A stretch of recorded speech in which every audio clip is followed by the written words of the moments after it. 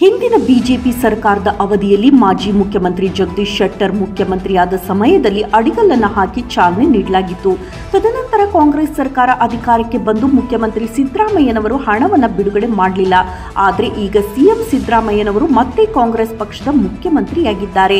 ಆದರೆ Krishna B scheme ಯೋಜನೆಯ ಕೊಪ್ಪಳ ಏತ ನೀರಾವರಿ ಯೋಜನೆ ಕಾಂಗ್ರೆಸ್ ಸರ್ಕಾರದಿಂದ ಆಗದು ಬರೀ ಆಶ್ವಾಸನೆಗಳನ್ನು ನೀಡುತ್ತಿದ್ದಾರೆ. ಇವರಿಂದ ರಾಜ್ಯದಲ್ಲಿ ಯಾವುದೇ ಅಭಿವೃದ್ಧಿ ಕಾರ್ಯಗಳು ನಡೆಯುತ್ತಿಲ್ಲ ಎಂದು ವಿಧಾನಸಭಾ ವಿರೋಧ ಪಕ್ಷದ ಮುಖ್ಯ ಸಚೇತಕ ದೊಡ್ಡಗೌಡ ಪಾಟೀಲ್ ಹೇಳಿದರು. ಕುಷ್ಟಗಿ ಪಟ್ಟಣದ ಹಳೆಯ ಪ್ರವಾಸಿ ಮಂದಿರದಲ್ಲಿ ವಿಶ್ವವಾಣಿ ಪತ್ರಿಕೆಯೊಂದಿಗೆ ಮಾತನಾಡಿದ ಅವರು, ಸಿಎಂ ಸಿದ್ದರಾಮಯ್ಯನವರ ನಂತರ ಮಾಜಿ ಮುಖ್ಯಮಂತ್ರಿ ಕುಮಾರಸ್ವಾಮಿ ಅವರು ಏತ ನೀರಾವರಿ ಯೋಜನೆಗೆ ಚಾಲನೆಯನ್ನು ನೀಡಿದ್ರು. ಆದರೆ ಕುಮಾರಸ್ವಾಮಿ ಅವರ ಸರ್ಕಾರ ಅಧಿಕಾರವನ್ನು ಕಳೆದುಕೊಂಡಿತು. ನಂತರ ನಮ್ಮ ಪಕ್ಷ ಅಧಿಕಾರಕ್ಕೆ ಬಂದ ತಕ್ಷಣ ಮಾಜಿ ಮುಖ್ಯಮಂತ್ರಿಗಳಾದ ಬಸವರಾಜ ಬೊಮ್ಮಾಯಿ ಅವರು ಕೆರೆ ತುಂಬಿಸುವ ಯೋಜನೆಗೆ ಚಾಲನೆಯನ್ನು ಕೊಟ್ಟ ನಂತರ ಈಗ ಕೆರೆ ತುಂಬಿಸುವ ಯೋಜನೆ ಆಗಿದೆ. ಈಗಾಗಲೇ ತಾಲೂಕಿನ ಕೆಲ ಕೆರೆಗಳು ಸಂಪೂರ್ಣ ತುಂಬಿವೆ. ಇನ್ನಷ್ಟು ಕೆರೆಗಳು ತುಂಬಿಸಬೇಕಾಗಿದೆ. ಆ ಎಲ್ಲ ಕೆರೆಗಳನ್ನು ತುಂಬಿಸುವ ಕೆಲಸವನ್ನು ಸಂಪೂರ್ಣ ಮಾಡುತ್ತೇವೆ. ಮುಂದಿನ ದಿನಮಾನದಲ್ಲಿ ವಿಧಾನಸಭೆಯಲ್ಲಿ ಚರ್ಚೆ ಮಾಡಿ ಸರ್ಕಾರಕ್ಕೆ ಒತ್ತಡವನ್ನು ಹಾಕಿ ಕೊಪ್ಪಳ ಏತ ನೀರಾವರಿ ಯೋಜನೆಯನ್ನು ಸಂಪೂರ್ಣಗೊಳಿಸುವಂತೆ ಕೆಲಸವನ್ನು ಮಾಡಿ ಈ ಭಾಗದ ಕನಸಿನ ಕೂಸಾಗಿರುವ ಕೊಪ್ಪಳ ಏತ ನೀರಾವರಿಯ ತುಂತುರು ಹನಿ ನೀರಾವರಿ ಯೋಜನೆ ಸಂಪೂರ್ಣಗೊಳಿಸುವಂತೆ ಕೆಲಸವನ್ನು ಮಾಡುತ್ತೇವೆ ಎಂದರು. ಜನವರಿ ಅಥವಾ ಫೆಬ್ರವರಿಯಲ್ಲಿ ರಾಜ್ಯ ನಾಯಕರು ಕುಷ್ಟಗಿಗೆ ಆಗಮನ. ಇದೇ ಜನವರಿ ಅಥವಾ ಫೆಬ್ರವರಿ ತಿಂಗಳಲ್ಲಿ ನಮ್ಮ ಬಿಜೆಪಿ ಪಕ್ಷದ ರಾಜ್ಯಾಧ್ಯಕ್ಷರಾದ ವಿಜಯೇಂದ್ರ ಯಡಿಯೂರಪ್ಪನವರು ಮತ್ತು ಬಿಜೆಪಿ ಪಕ್ಷದ ರಾಜ್ಯ ನಾಯಕರುಗಳಾದ ವಿರೋಧ ಪಕ್ಷದ ನಾಯಕ ಆರ್ ಅಶೋಕ್, ಸುನೀಲ್ ಕುಮಾರ್, ರಾಜು ಗೌಡ, ಪಿ ರಾಜು, ಶರಣು ತಳ್ಳಿಕೆರೆ ಸೇರಿದಂತೆ ಪಕ್ಷದ ಘಟಾನುಘಟಿಗಳ ನಾಯಕರು ಕುಷ್ಟಿಗೆ ಆಗಮಿಸಲಿದ್ದಾರೆ. ಎಲ್ಲಾ ನಾಯಕರ ನೇತೃತ್ವದಲ್ಲಿ ಬೃಹತ್ ಸಮಾವೇಶವನ್ನ ಮಾಡ್ತೇವೆ ಮತ್ತು ಇಡೀ ಭಾರತ ದೇಶದಲ್ಲಿ ಬಿಜೆಪಿ ಪಕ್ಷದ ಅಲೆ ಇದ್ದು ನಮ್ಮ ರಾಜ್ಯದಲ್ಲಿ ಇಪ್ಪತ್ತೆಂಟು ಲೋಕಸಭಾ ಕ್ಷೇತ್ರದಲ್ಲಿ ಬಿಜೆಪಿ ಪಕ್ಷ ಗೆಲುವನ್ನು ಸಾಧಿಸಲಿದ್ದು ಮುಂದಿನ ದಿನಮಾನದಲ್ಲಿ ಮತ್ತೆ ಈ ದೇಶದ ಪ್ರಧಾನಮಂತ್ರಿ ನರೇಂದ್ರ ಮೋದಿ ಅವರು ಆಗಲಿದ್ದಾರೆ ಎಂದು ಹೇಳಿದರು. ಕೊಪ್ಪಳ ಲೋಕಸಭಾ ಟಿಕೆಟ್ ಹೈಕಮಾಂಡ್ಗೆ ಬಿಟ್ಟ ವಿಚಾರ. ಕೊಪ್ಪಳ ಲೋಕಸಭಾ ಟಿಕೆಟ್ ಆಕಾಂಕ್ಷಿಗಳು ಇರುವುದು ಸಹಜ.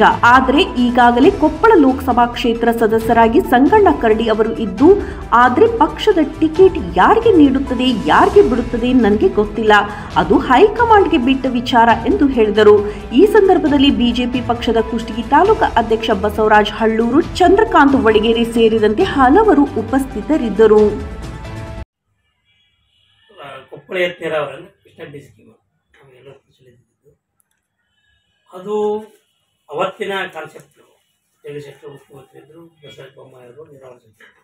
ಅವ್ರ ಕಾನ್ಸೆಪ್ಟ್ ಏನು ಅಂತ ಹೇಳಿದ್ರೆ, ತುಂತುರು ನೀರಾವರಿ ಮಾಡಬೇಕು ಅಂತಕ್ಕಂಥದ್ದು ಯಾಕಂದರೆ ಅವರು ಅಲ್ಲಿ ಮಾಡಿ ನೋಡಿದ್ರು ಅದು ಆಗಬೇಕು ಅಂತಕ್ಕಂಥದ್ದನ್ನು ಮಾಡಿದ್ರು. ಇವತ್ತಿಗೆ ಅದು, ಅವ್ರ ತಕ್ಕ ಸ್ವಲ್ಪ ದುಡ್ಡು ಇಟ್ಟು ನಂತರ ಗೌರ್ಮೆಂಟು ಹೋಯಿತು. ಮತ್ತು ಸಿದ್ದರಾಮಯ್ಯ ಬಂದರು ಅದಕ್ಕೆ ಒಂದು ರೂಪಾಯಿ ಕೊಡಲಿಲ್ಲ. ಆಮೇಲೆ ಕುಮಾರಸ್ವಾಮಿ ಮುಖ್ಯಮಂತ್ರಿ ಆಗಿರ್ತಕ್ಕಂಥ ಸಂದರ್ಭದಲ್ಲಿ ಅದಕ್ಕೆ ಚಾಲನೆ ಕೊಟ್ಟರು ಆಮೇಲೆ ಯಡಿಯೂರಪ್ಪ ಮೇಲೆ ದುಡ್ಡು ಕೊಟ್ಟರು ಬಸವರಾಜ ಬೊಮ್ಮಾಯಿ ಬಂದ ಮೇಲೆ ಕೆರೆ ತುಂಬಿಸ್ತಕ್ಕಂಥ ಯೋಜನೆಗೆ ಚಾಲನೆ ಕೊಟ್ಟು ಇದಾಯಿತು. ಇವತ್ತು ಮತ್ತೆ ಅದಕ್ಕೆ ದುಡ್ಡು ಇರ್ತಕ್ಕಂಥ ಪರಿಸ್ಥಿತಿ ಕ- ಈ ಸರ್ಕಾರ ಇಲ್ಲ. ಬರೀ ಆಶ್ವಾಸನೆ ಕೊಡ್ತಾ ಇದ್ದಾರೆ ಒಟ್ಟು ಹಣಕಾಸಿನ ಲಭ್ಯತೆ ಅವರಲ್ಲಿ ಇಲ್ಲ. ಹಾಗಾಗಿ ನಮಗೇನು ಇನ್ನೂ ಅಷ್ಟು ಹೆಚ್ಚುವರಿ ಕೆರೆಗಳು ತುಂಬಬೇಕಾಗಿದೆ. ಅವ್ರು ತುಂಬಿಸೋದಕ್ಕೆ ಏನು ಮಾಡಬೇಕು? ಆ ಪ್ರಯತ್ನವನ್ನು ಮಾಡ್ತೀವಿ. ಖಂಡಿತವಾಗಿ ಅದರ ಬಗ್ಗೆ ನಮ್ಗೆ ಇಚ್ಛಾಶಕ್ತಿ ಇದೆ. ನಮ್ಮ ಸರ್ಕಾರದಲ್ಲೇ ಆಗಬೇಕಾಗಿತ್ತು, ಬಟ್ ಅದು ಇಟ್ಟಿರ್ತಕ್ಕಂಥ ದುಡ್ಡು ಕೆರೆಗಳಿಗೆ ಮಾತ್ರ, ತುಂಬಿಸ್ತಕ್ಕಂಥ ಯೋಜನೆ ಮಾತ್ರ ಆಯಿತು. ಈ ಸರ್ಕಾರ ಕೂಡ ಕೇಳಿದ್ದೀವಿ ನೋಡೋಣ ಅದ್ರ ಬಗ್ಗೆ ಒತ್ತಾಯ ಮಾಡ್ತೀವಿ ಎಷ್ಟು ಸಾಧ್ಯ ಆಯಿತು ನೋಡೋಣ. ಪ್ರೆಸೆಂಟ್ ಇದ್ದಾರೆ ಈಗ? ಅವರು ಕೇಳ್ತಿದ್ದ ಆಕಾಂಕ್ಷೆಗಳು ಇರ್ಬೋದಿಲ್ಲ ಅಂತಂತಲ್ಲ. ಅಲ್ಟಿಮೇಟ್ಲಿ ರಾಜ್ಯ ನಾಯಕರು ಮತ್ತು ರಾಷ್ಟ್ರ ನಾಯಕರು ಏನು ಸೂಚನೆ ಕೊಡ್ತಾರೆ ಅದ್ರ ಮೇರೆಗೆ ಆಗ್ತಾರೆ. ಈ ಪ್ರೆಸೆಂಟ್ ಅಂತ ಎಂ ಪಿ ಇರೋದಾರಲ್ಲ ಮತ್ತೆ ಖಂಡಿತವಾಗಿ ಅದಾಗುತ್ತೆ ಅಂತಕ್ಕಂಥ ವಿಶ್ವಾಸ ಕೂಡ ನಾವು ಯಾಕಂದ್ರೆ ಇವತ್ತು ಮೊನ್ನೆ ಬಿ ವೈ ವಿಜಯನಗರವರು ರಾಜ್ಯಾಧ್ಯಕ್ಷರಾದ್ಮೇಲೆ ಹೆಚ್ಚು ಜನ ನಮ್ಮ ಕಾರ್ಯಕ್ರಮ ಅವರೆಲ್ಲೇ ಹೋದರೂ ಸುಮಾರು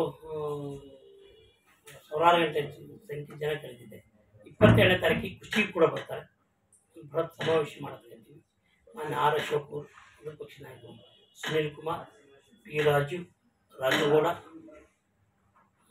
ಮತ್ತು ಶರಣ ತಳಿಕೆಯಲ್ಲಿ ಕೂಡ ಇರ್ತಾರೆ.